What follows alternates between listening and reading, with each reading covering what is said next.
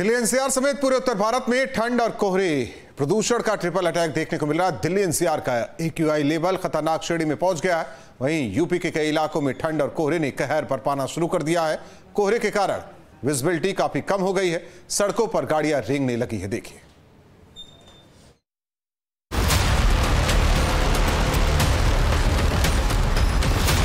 Delhi NCR समेत पूरे UP में ठंड और कोहरे का असर दिखने लगा है। कोहरे के कारण विजिबिलिटी काफ़ी कम हो गई है, जिससे वाहनों की रफ्तार पर ब्रेक लग गया। कोहरे के साथ हवा में घोला जहर भी खतरनाक स्तर तक पहुँच गया है। दिल्ली में प्रदूषण स्तर लगातार गंभीर श्रेणी में बना हुआ है। दिल्ली के बीस ऐसी ज़्यादा इलाकों में एक लेवल चार सौ के पार पहुँच गया है।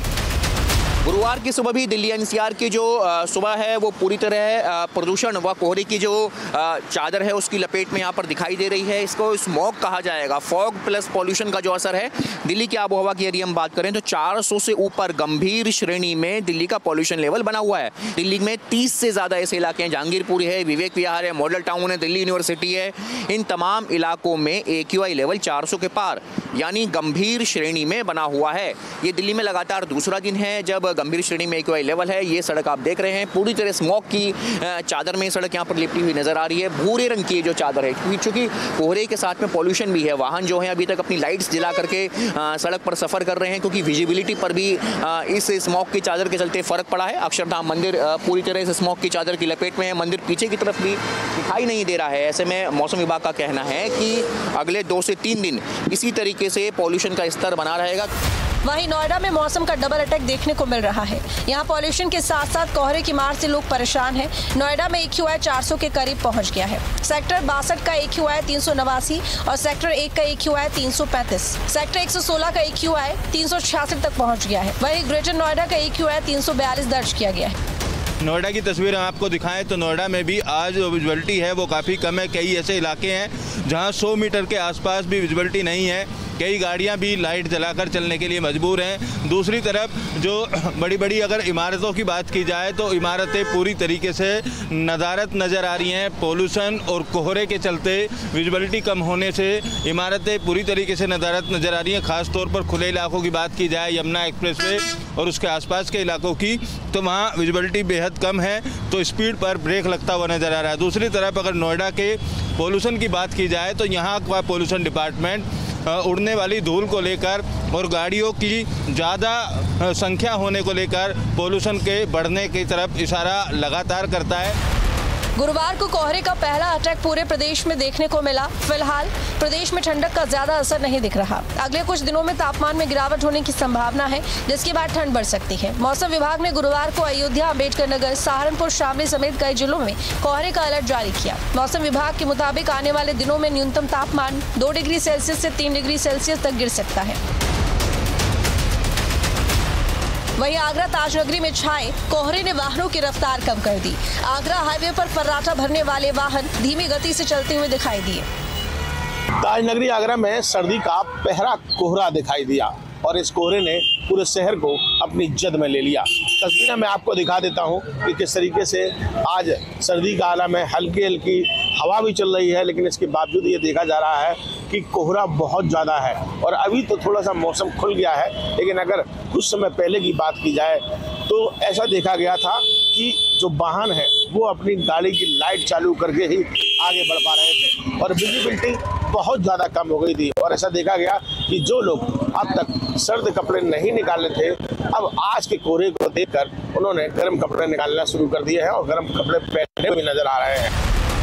गाजियाबाद में मौसम सर्द होने के साथ साथ घने कोहरे और पॉल्यूशन की चादर ने शहर को ढक लिया है। चारों तरफ़ धुंध की चादर दिखाई दे रही है। ये तस्वीरें गाजियाबाद के ट्रांस इंडन एरिया की हैं। वाहनों की रफ्तार बहुत ही धीमी हो गई है। सड़कों पर सन्नाटा छाया हुआ है। लोग अपनी गाड़ियों की फॉक लाइट जलाकर चल रहे हैं। बरेली में कोहरे के कारण विजिबिलिटी काफ़ी कम हो गई है। कोहरे से हाईवे पर वाहनों की रफ्तार काफ़ी धीमी पड़ गई है। ठंड ने बरेली में दस्तक दे दी है। मैं इस समय मौजूद हूँ बरेली के पीलीभीत बाईपास नेशनल हाईवे पर, जो दिल्ली और लखनऊ को लिंक रोड है। अब मैं आपको दिखाना चाहूँगा कि ये देखिए कि कोहरे की जो चादर है, वो पूरी तरीके से यहाँ ढक चुकी है और कोहरे की वजह से जो वाहन 100 से ऊपर की रफ्तार पकड़ते थे, अब वो 70 से 80 की स्पीड पर यहाँ दौड़ते हुए नज़र आ रहे हैं। इसी के साथ साथ रात में भारी कोहरे के कारण कुछ ट्रक वाले रोड पे रुक गए थे, जो आप धीरे धीरे यहाँ से निकलते हुए नज़र आ रहे हैं। मैं कहूँगा कैमरामैन से कि ये दिखाएँ कि सामने किस कदर कोहरा है कि विजिबिलिटी जो है 300 से 400 मीटर दूर का नज़र आना बंद हो चुका है। और यही वजह है कि जो लोग हैं तो वो अब उनकी जो पहियों की रफ्तार थी, वाहनों की, उनके वो थम चुकी है। वहीं कानपुर में सर्दी की शुरुआत के साथ ही कोहरा शुरू हो गया। सुबह से ही आसमान में कोहरा धुंध देखने को मिला, जिसके चलते सुबह घरों से निकलने वाले लोग काफ़ी दिक्कतों का सामना कर रहे हैं। सर्दियाँ शुरू होने के साथ साथ कोहरे का कहर भी देखने को मिल रहा है।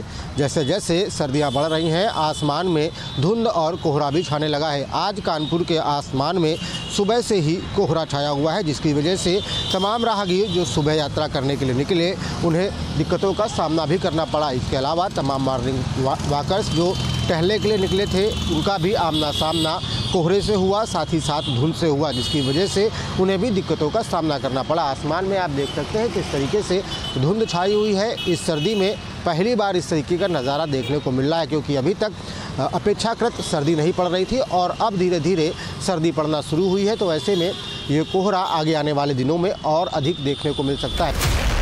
वहीं फिरोजाबाद में शहरी और ग्रामीण क्षेत्रों में सुबह सुबह घना कोहरा छाया रहा, जो लोग कल तक सामान्य कपड़ों में दिख रहे थे। आज से उन्होंने गर्म कपड़े पहनने की शुरुआत कर दी।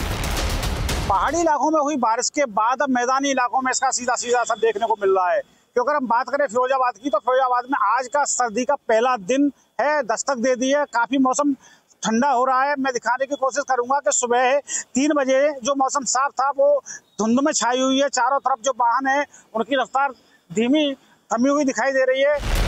दरअसल मौसम की ऐसी हालत हिमालय क्षेत्र में एक्टिव वेस्टर्न डिस्टरबेंस की वजह से हुई है। ऐसे में दिल्ली समेत पूरे उत्तर भारत की हवा की हालत दमघोटू सी हो गई है। Team news state